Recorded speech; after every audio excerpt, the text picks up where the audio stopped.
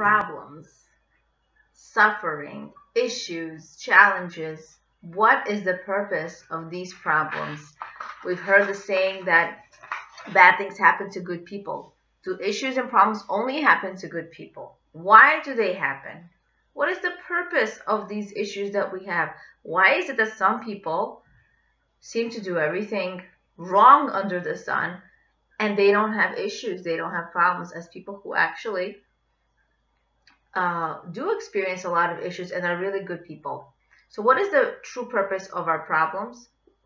Are they not what they seem? Are they more than what they seem? And more importantly, we want to focus on what is the true message of these problems. And the truth of the matter is the problems that we experience are huge wake-up calls for us from Hashem, from God. We need to thank Hashem for our problems. Now this can be a really far-fetched statement and I'm going to share with you in this video what is the purpose of problems of our suffering in this world. Um, how do we approach these problems as well as how should we react to them? What is Hashem trying to tell us? And a practical tip at the end.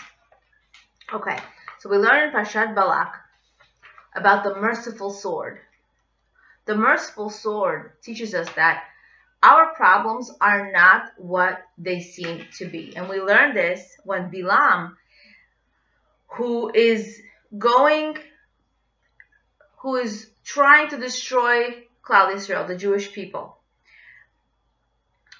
And when Hashem uncovered Bilam's eyes and he saw the angel of Hashem standing on the road with his sword drawn in his hand, he bowed his head and prostrated himself on his face, as it says in Bamidbar 22:31.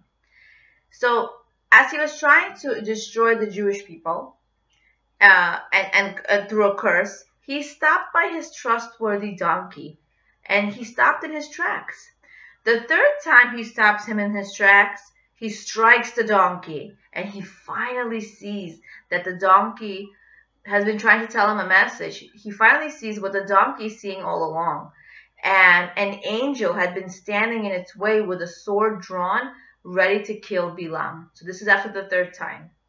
Interestingly, although earlier in this verse it says that the angel was trying to stop him, right? Rashi knows that this angel was actually a malach shel rachamim, a merciful angel. Hashem sent this angel to try to dissuade Bilam from doing something that would cost him his life. In order to do so, the angel had to threaten him with a sword.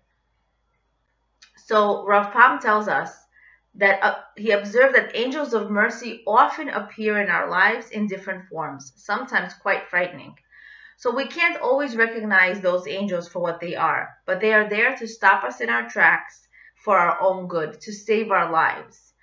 So let's say, for example, when it comes to making shidduchim, when it comes to dating and marrying someone, a person oftentimes goes through many, many candidates. We know of people who went and almost got engaged or got engaged and had to have it called off and had to deal with that emotional in, in, intense energy and having it having to deal with that that disappointment it's it's very painful but at the end this is better than marrying that person and eventually getting divorced anyway.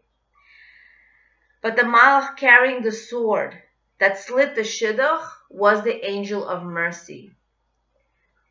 It would certainly be worse for the couple to get married and then divorce afterwards with much more pain and baggage to handle possibly even having kids.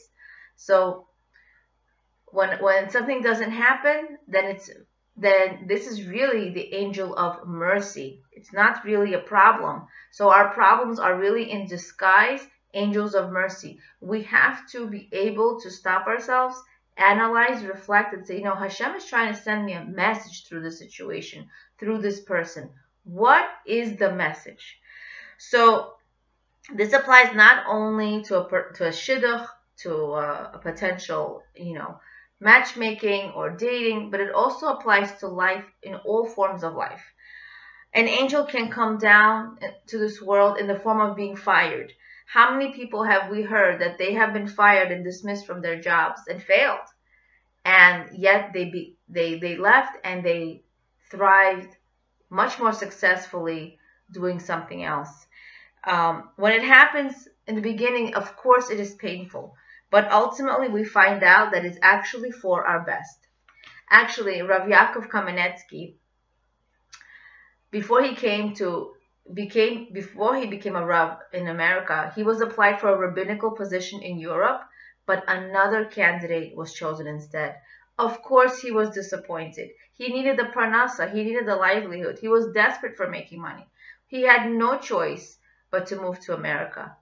The Rav who was chosen to lead the community in Europe perished along with his townspeople at the hands of the Nazis during World War II. May their name be erased. But Hashem had bigger plans for Rav Kamenetsky, and the only way to get him to move to America, where he ultimately thrived and became a big Torah giant and Rosh Yeshiva in Toras Vodas, was to cause that the community choose another Rav. So we won't always see the results in this world. However, Yeshaya Hanavi prophesied that when Mashiach comes, we will say, Odecha Hashem ki anafta bi. I thank you, Hashem, for you are angry with me. What does this mean? It may take until Mashiach comes, until his times. But we will ultimately thank Hashem for sending us what we originally thought was a difficult situation. Because in hindsight, those events will turn out to have saved our lives or made our lives much more pleasant. So when Mashiach comes, we will see and we will thank Hashem. Hashem was, it says Hashem is angry with me, meaning that's, we feel the pain and suffering when Hashem is angry with me. Hashem doesn't have feelings, but we, we read that he does in a way that we can relate, he can relate to us in a way, that we can understand him. But the pain and suffering feels like he's disappointed in us. He's trying to send us a message. He knows we're bigger than that. We're more than that. He's trying to wake us up. So Hashem does not owe us an explanation for the suffering we had in this world. However, he gives each and every one of us a gift. And the gift is that after 120 years, we will dance and sing for the humiliations we had in this world, the embarrassments, the criticisms, the insults, the suffering, the problems, the challenges, the pain we had in this world. We will not only see oh, that makes sense.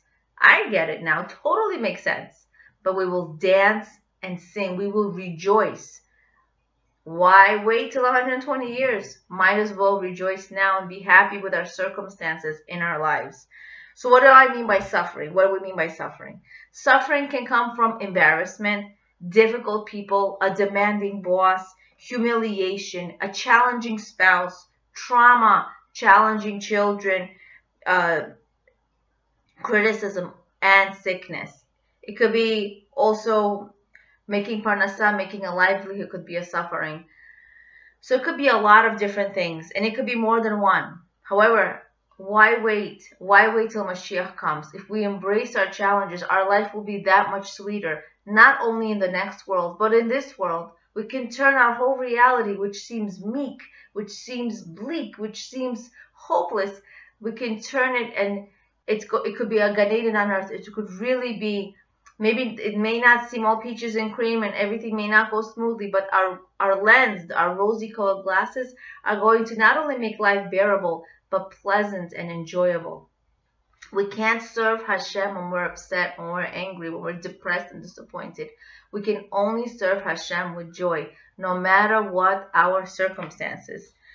So we must bear in mind that no matter how bad it seems, don't judge your situation by its cover. Don't judge not even angels. You can't judge angels, which who are they really? They are really the angels are really the problems we have with this world.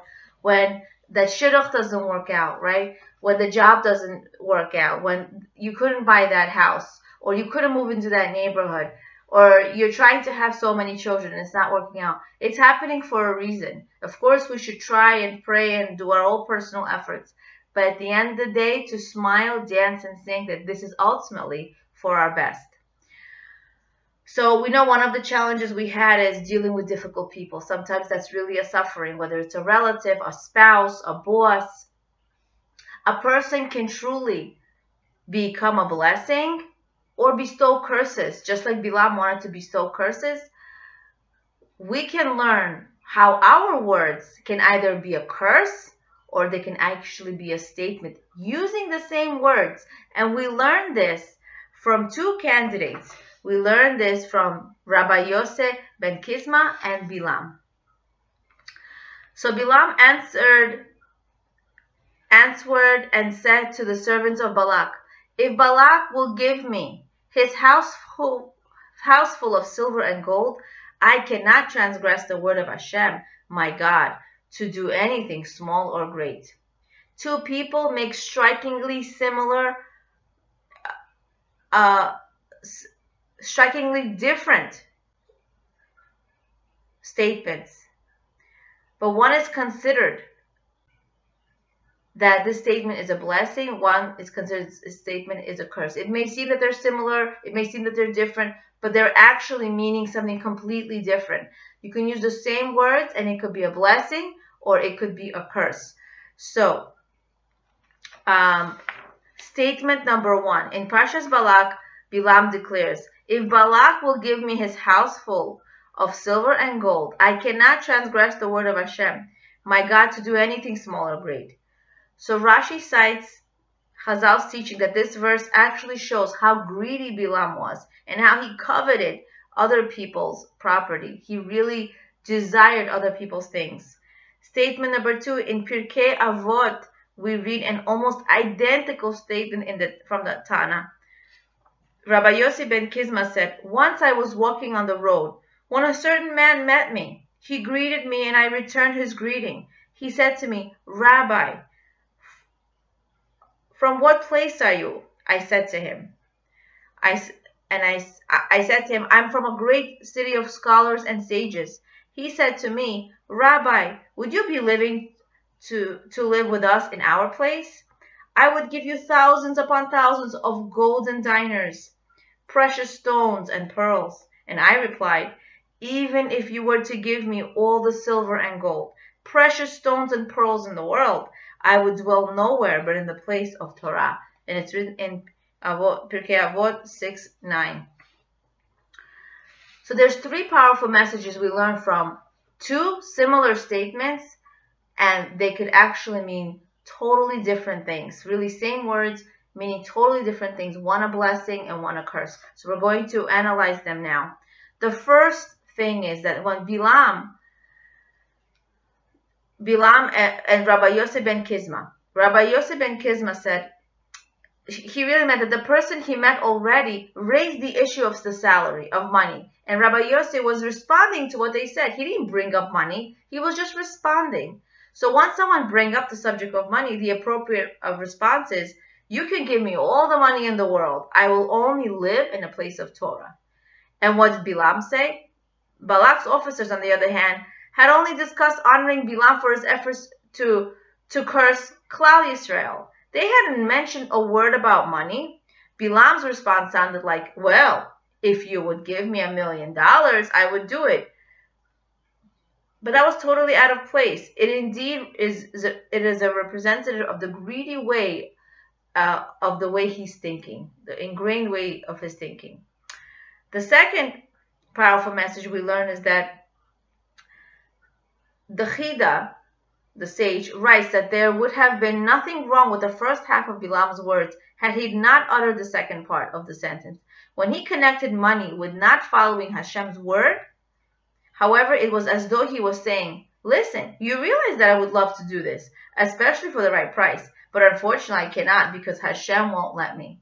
On the other hand, Rabbi Yosef ben Kisma's statement was a principled response. He said, I will only live in a place of Torah, no matter how much money you give me, because I realize that it is the right thing to do. And the third idea is that had Bilam really said that he wanted a house full of money, Chazal wouldn't have censured him so severely. Chazal, our sages, would not have punished him so severely. However, the problem was that he wanted someone else's money. He said, if Balak will give me his household of gold and silver, this is human nature that Bilam had, one that we should be sure to eradicate from our own mindset and attitude towards money. There are people who genuinely just don't mind driving a simple car. Yet, once someone in the neighborhood has a Lexus, you also want a Lexus. Not because you want a Lexus, but because you want his Lexus. If you didn't have a Lexus, you wouldn't want it either. But because other people have it, you want their things. If they didn't have it, you wouldn't want it. It's not because you want a Lexus, because there were Lexuses. The, the Lexus car was invented a while ago. You didn't want it when it just came out. You want it because he has it, right? So that's a wrong way of thinking, just like Bilam.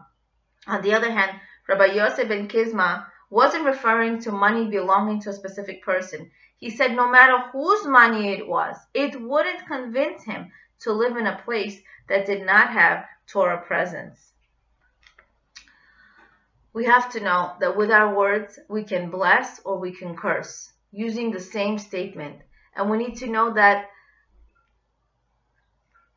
dealing with difficult people who use words, who looks like it's really a curse, it could be an opportunity for growth. It could be an opportunity to judge favorably. It could be an opportunity to work on our character, work on our humility, um, work on praying for them, right? Seeing the good in them. This is very powerful. It's very hard. Yet this is an angel in disguise. Just like we said, it's a it's a malach. We don't live in this world for anything except to overcome challenges. And these are our challenges. Life is challenges. We don't ask for challenges, but when they come, we know these are only opportunities and stepping stones to become bigger and greater people. So sometimes it's going to be a malach, it's going to be a difficult person, it's going to be that difficult job, it's going to be uh, a challenging boss or spouse, or difficult making parnasa, or raising that child who just twists you into a pretzel, no matter what you do but that really what that child is doing, what the situation is doing, is molding me into a better person. And we need to experience the suffering in this world to be the person we're meant to come. So instead of being upset, angry, blaming, embrace your problems, embrace your issues, and say, Thank you, Hashem, for this challenge. I'm going to look beyond and I'm going to be better. I'm going to try to understand your message so that it's not a blast in the face. It's not a blast in my face, like just like it happened to Bilam the third time the donkey had to send that message and the sword was waiting for him from an angel. We don't want that powerful message. We want the subliminal messages. We want to connect to Hashem through those messages. And remember, our issues, our problems, our opportunities to shape us, not to break us, to make us. Appreciating the insights of Rabbi Frand on the Parsha, on the Parsha inspired by Rabbi Frand on the Parsha, book 3. The practical tip I want to leave you with is that before we speak, we need to ask ourselves, am I proud of what I'm about to say? Is this a blessing or a curse? I like to leave it as at, you know, am I, am I proud of what I'm about to say?